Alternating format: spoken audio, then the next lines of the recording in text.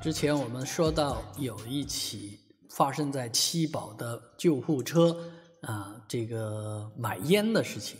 那那个烟的量还真不多，啊，几十条烟而已啊。因为居民的警觉呢，这件事情没有得逞，驾驶员被开除。而最近上海民警又查获一辆救护车，救护车里面没有病人，却有八百五十条香烟，驾驶员被当场抓获。啊，这种发国难财的人应该要承担什么样的责任呢？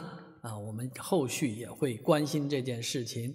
而现在烟价啊飞涨，很多地方呃放出来，防范区的人放出来排队买这个烟啊，呃排的队非常之长。这当然对于每一个公民来说呢，这个不要吸烟，这可能是一个呃疫情之后得到的一大教训了。